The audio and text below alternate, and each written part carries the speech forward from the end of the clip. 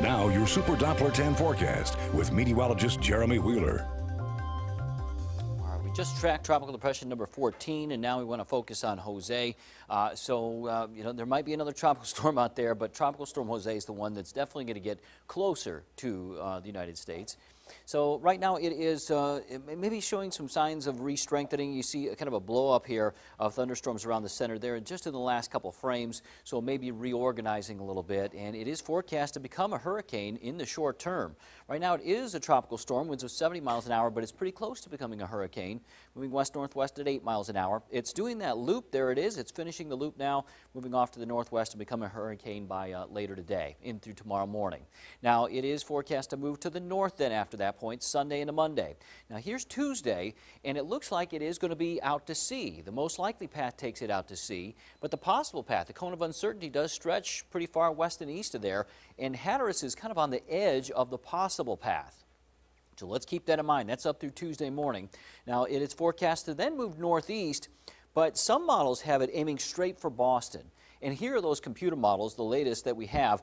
There's a good consensus in here that it's going to be offshore. I mean, there's still some models which take it a little closer, but most of the models keep it out here, which is good for us. We wouldn't see any direct impacts from the hurricane uh, if it were to become one and, and follow this path. But again, it may head up and uh, aim right for Massachusetts. Now here's two models, and it shows you kind of the winds as well. The uh, more tightly packed these lines are, the isobars, the stronger the winds.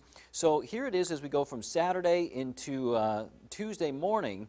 Well, they are offshore, yes, but you can tell here, we'd still see some coastal winds even if it were to go offshore.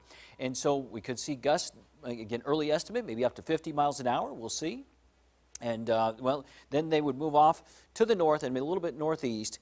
The European might hang back and sit here for a couple of days offshore. This is Thursday, so uh, definitely some impacts on our weather. We're going to have a high threat for rip currents through the entire time, high waves too. Jose should be offshore Monday through Tuesday. That's the most likely scenario, but it could be somewhat close, maybe within 1 to 200 miles of our region. So some coastal winds and some tidal flooding early next week, Monday into Tuesday. I think we could at least see some minor tidal flooding, maybe more. We'll see. Depends on that track. And so stay tuned for updates this weekend. We'll, we'll get more specific and we'll, we'll fine tune that forecast as we go through the weekend. Meantime, closer to home, high pressure is building back in. Low pressure is moving away, but we still have some humid conditions, and so we might see some isolated showers. Most of the showers now are offshore, and that's good. We're not going to see any more rain this morning for the morning commute. But as we go into the afternoon, isolated showers popping up. I believe our model is a little high on the coverage, but I do agree that some isolated showers will be out there. Chance of rain about 25%. Overnight, quiet weather, a little bit of clouds. And then tomorrow, partly cloudy skies. Again, maybe some isolated showers, a little less of a chance of rain there, maybe 10 to 20 percent for Saturday. So right now we do have fog outside here in Portsmouth, in parts of Suffolk, Chesapeake, and uh, up towards Hampton. And the temperatures are in the upper 60s. They've fallen. Today, high temperatures will rise up into the low 80s. We'll have a few mid 80s inland, and the winds out of the northeast 5 to 10. Partly cloudy skies, isolated showers are possible. At the air show today and tomorrow, partly cloudy, isolated showers, highs in the 80s, upper 70s on Sunday, more clouds and some scattered showers. And uh, so for the weekend, that's how it follows. Isolated on Saturday, 30% chance of rain Sunday.